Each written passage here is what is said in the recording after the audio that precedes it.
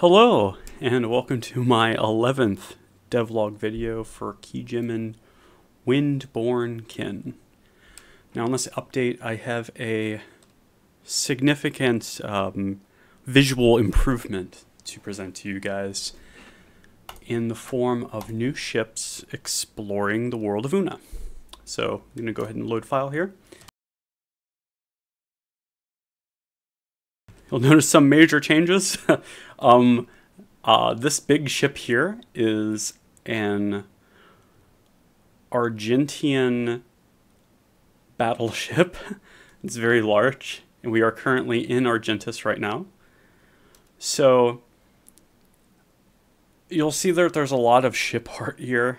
Um, I'm gonna go over most of it and what the uh, what the system is like. He was turning around there to find his uh, new destination. We're gonna get some events as well. I have it turned on. So if we go into the ship loadout viewer, uh, you can now see that there are different images depending on the nation the ships are from. Argonon has these uh, greenish sails and a um, lighter wood. There's a white wood for chroma ships, and they have red sails. So as we go down, Cupra-Cao has a copper color scheme. De Nova has white ships, white and gold ships. Fraction has red and white sails with uh, more connective points there on the between the nacelles. For the ships themselves on the overworld map, you'll see that uh, because I'm in the nation of Argentis, um, all of these ships are Argentian in design. So if we pass through this, you see that there are um, blue, gray, purple ships here. And all of them, these have uh, fixed, fixed metal wings, and they have battleships uh, moving around. Now, these aren't to scale. Um, the ships on the overworld map are actually 1 1000 scale, so it's blown up a thousand times normal size, just so you can see them, otherwise you wouldn't be able to see the ships at all. But I'm going to take a little journey across Una and show you that the ships change depending on their location in the overworld. I'm going to fly toward um, Cupra-Cao, I think. So we're going to go over there and see what ships we, uh, we find along the way. And I'll explain um, why they are there, if they're um, nations that are going across the world. Some of the nations are roaming around um, every one of the 20 nations in the game has a percent chance to leave their home nation for trade purposes. So a lot of the time, they will remain at their home nation. Like, for example, here's a Luminian ship, and it's trading between Luminian cities. So he's uh, staying at half hoist, is going to stay at half hoist for a couple seconds and then eventually leave. We're going to get a couple events in that time. We're going to follow him as he goes off to do a thing. So it's kind of hard to see because I have the armada uh, of ships here, but uh, he's parked at half hoist. So they can stay there for um, a random period of time uh, between, I think, 10 and 30 seconds. So we'll see if, okay, there he goes. So he's going off to some city. Um, they have a, um, a large chance to leave Lumine because they don't have a lot of supplies. So they are going to a foreign nation to get more supplies.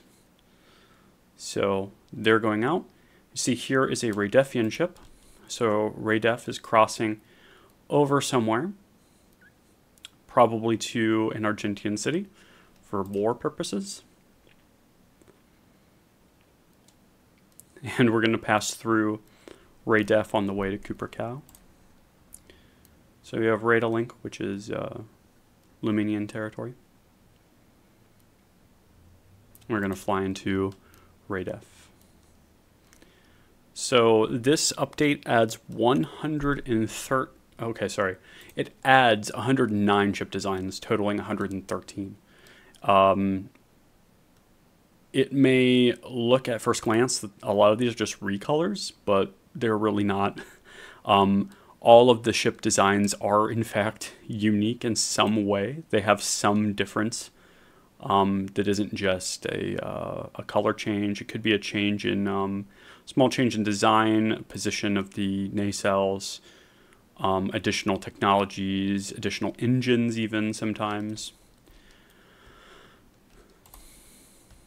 So that's something to look out for. Um, this has uh, this has a um, looks like it has a single engine on back here, and this one has two engines. So there's an example. So this is um, Crystal Reach, which is a Raydefn territory, and we'll see that uh, there are a lot of um, there are a lot of Caprician ships leaving Cooper Cow as we get closer to Cooper Cow because uh, Cooper Cow has a high trade chance. So there are a lot of um, ships coming out of that nation doing a lot of trade.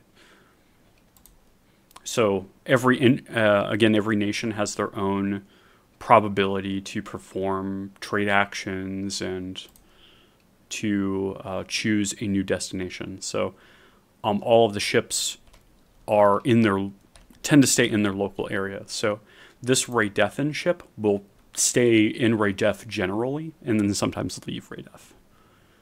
So as you explore the the nation, they they do some things. This is a um, this is a Sorcillian carrier, or a Sor- Sorcillian battleship, and Sorcilius is actually an enemy of Raydef. Um, so they're coming through to do um, reconnaissance of Raydef and then return home. So that's interesting. I didn't think I would catch that on camera. That's actually not uh, a common thing to occur. So um, all of them have a again small percent chance to do particular actions while they're on the world map. The uh, the ships always have done this. Uh, the the nations have always had this behavior programmed in them, but the player would have never been able to see that behavior until now because the ships didn't really look different. And so you couldn't really discern what nation they were from. So as we're coming into Cow, you can see that we're going to see more Caprician ships, probably a lot. This one is um, doing some trade, probably with Raydef, based on his direction of travel. So the um, the ships are actually scanning their their environment. They're going back and forth across the horizon. And if you look closely, you'll kind of see the front like jiggle a little bit, like right there. Hold on, we'll see there. see, uh, it kind of like just goes pink, pink, pink, pink, pink, a little amount. They're actually looking for nodes that are invisible to the player. And they're pathfinding using those they're using some um, uh, decision making to to try to stay along the skyways. They are not. Uh, it's not like a star search or anything. They're they're just well, going to the way uh, the waypoints. They're going to the closest waypoint they can find. That's in the general direction of where they're pointing already. So we're going to try to talk to some of these ships here. So I've added some dialogue events. I was planning to finish all of them before I publish this new update, but I just wasn't able to finish them in time because I spent a lot of time on these ships. This is a looks like um, um, an um, Argononian ship is going towards Argonon, which is this way. So they're flying back home towards Argonon. Um, the same ship I have now. So this Argononian ship uh, has performed trade with Cooper Cow and is traveling back to Argonon.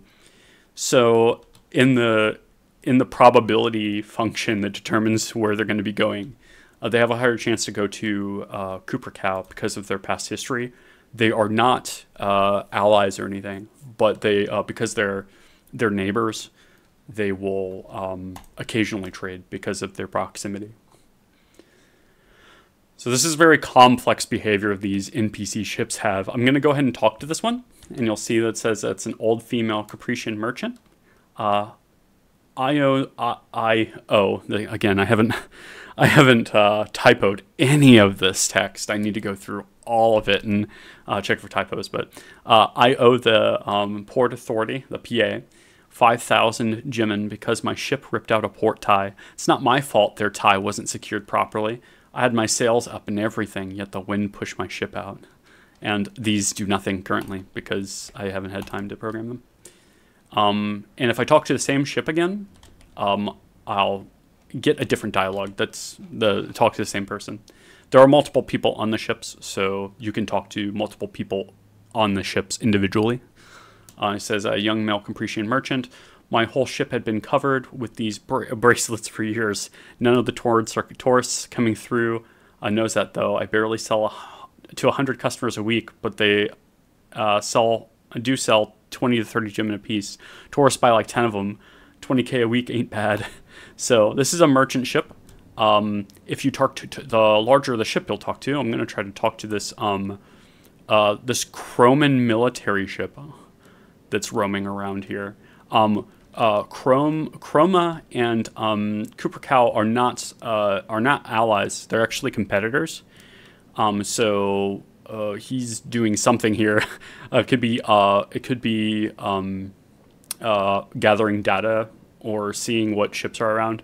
I, I have no idea what he's doing. He, he has a, a, large table of behaviors, but um, if I talk to it, it'll be a military ship. Uh, he's faster than me because he's got more engines. I'm gonna go ahead and talk to him. It says, uh, "Young male Chromian soldier." Um, all of these, oh, young male, young female Chromian soldier, sorry. All of these guys are pigs, I swear. Makes me want to keep my mom's uh, uh, Alaviat, um, uh, just to keep, uh, keep covered. In the military, no point because we have to uh, be in uniform. Uh, I ask uh, women, um, uh, ask why women have to wear dress skirts instead of pants. so this person is upset with the um, with the way women are treated in the military if I talk to them again, um, got the same, yep, getting the same uh, dialogue. There are more than one person on the ship. Um, yeah, here we go. Yeah, there's a merchant on board as well. So I'm sick of these drunken tourists coming from Listeria on board. They treat me like some kind of meat put to market. Most of them assume I'm a prostitute. I sell stoneware, like WTF. so, um, yeah, I, I am gonna put as much dialogue in this as uh, as humanly possible to make sure that uh, every time the player talks to a ship, they get some kind of new uh, new dialogue option. There's a strong language of this game, as you can see through this video. Um, I just closed an event with some capitalized strong language, so um, it's around there. I I'll tell you, I went through like a solid, probably 40 hours of work over the last two weeks just doing the art for these ships. There is so much uh, art uh, for these ships now. All the varieties are um, unique to every nation, and this world map is very large. So the national regions, there are now 20 distinct national regions. You'll see the ships in their home. Oh, so I hit the camera. Or so I hit the microphone. Um, there, you'll see each ship group in their home nation, and uh, it, it all makes logical sense now. Uh, before there was a couple bugs with the way uh, that the ships were traveling over the overworld. I've taken care of all of those bugs. I've tested it thoroughly. I went through probably five or six hours of testing all of these uh, all of these regions, and I had and I had I turned events off when I did that testing, so I made sure that everything was working okay. Um, there aren't um, many UI changes other than these uh, these ships being here. Um, I want this to be a finalized feature for the game, so all the ships are taken care of. I never have to think about it again and the dialogue is done. The next major step is to finish the dialogue for the overworld, which should take a couple days. and then go through the laborious process of uh, working out the storyline um, structure, the branching narrative structure, and then testing all those branching narratives. And that should be my next update. Um, the player will be able to go through the narrative structure without the narrative actually being there. That way, the players can test the the path they actually have to move through the world without um, being spoiled the content of the story quests. So that'll be that'll be in. Uh, whenever the story, uh, in order before I get the story quests started, I have to get a journaling system finished. Um, make sure that this world map um, has the journaling features uh, attached to it, so that the the map shows the quest locations. And then once the journaling behavior is done, I can get all of the uh, character stat uh, tracking in and then start the story quest structure. So the, this game should have story quests finished, um, at least the the outline for them from the start to the finish of the game by end of November. That's the hope. Um, and if we get to that point, I don't know if I will start a Kickstarter or not. Uh, probably going to do that um, just to raise some money for the uh, development of this game. It takes a lot of time to do that, um, and I don't have. Uh, I'm. This is a huge time investment, honestly. Um, but uh, it's something I can I can handle. I, will be developing this game regardless, without financial assistance or not. But uh, if you are looking to help with the project, um, there you go. That will be your opportunity to do that. I'll make a video uh, showcasing um, the, an outline for the project and all of that. Now, something new that we're doing here is that I have a GitHub open for um, issue tracking for the game. So if I go to issues, uh, we can see now that's all of the features of the game, um, both current and future, are being tracked. Um, if I go under projects, I think it should, I don't think I have uh, the project set up. Uh, let me do that real quick. Under the project categories, you can see that I have um, features I might might be working on in the future, uh, current bugs, uh, the to-do do list for, oh, I'm holding down control. uh, the con- uh, the to-do list for the software, and that's uh, that's pretty long.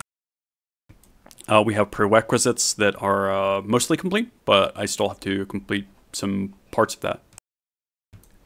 In progress features and completed features over here. And all those are listed here with no issues. So you can see that's all of the uh, features, qual quality of life uh, uh, pieces, all of it's listed here. So if you ever want to track any of that information, you can just go to my GitHub and go to the projects page, and it'll all be listed there with um, full detail. So, yeah, uh, that's it for now. I also uh, moved the um, and Wiki from um, from fandom.com to Mar- uh, Miraheze, um, mainly because fa- fandom.com has implemented a terrible uh, forking policy, and um, their website was completely broken uh, over the last couple days. I think it's still broken, um, and it's a part of their uh, their ad platform. actually has a cross-site scripting exploit. So I am opting never to use fandom.com again. So it's been moved over to Miraheze. A uh, link to that will be in the description of this video. And uh, that's about all. Uh, this has been a long one. Sorry about that. Okay, thanks. Bye.